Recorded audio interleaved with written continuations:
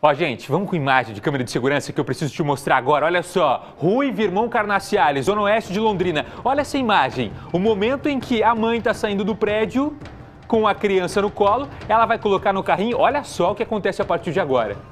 Olha só, o momento em que vai chegar um rapaz nessa cena. Olha só, ele vem correndo, ele vem correndo, ele passa, mas ele volta, ó.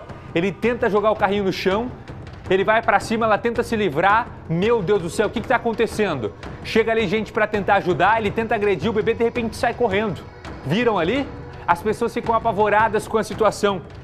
Elas vão atrás do agressor e ele precisa ser contido ali. Mas por que ele tentou agredir né, essa criança? A informação que a gente tem é que ele tem é, problemas de transtornos psicológicos, né? ele é um rapaz que é, já tem um histórico disso. E aí a polícia vai para o local, faz a identificação do que aconteceu, e aí ele é um rapaz que não é, vai para cadeia. Ele tem que receber tratamento, por isso ele é seguro ali pelas pessoas, ele é encaminhado para esse tratamento. Só que a, a cena chocou todo mundo, né? Chocou essa mãe, chocou o pai, chocou quem passava por ali, né? E ficou todo mundo ali sem entender o que estava acontecendo.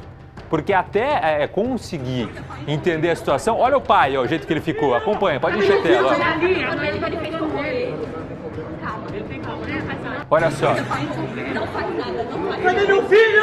Cadê meu filho? Estão vendo? Ele chega apavorado com a situação, tem que ser seguro ali pela polícia, por todo mundo.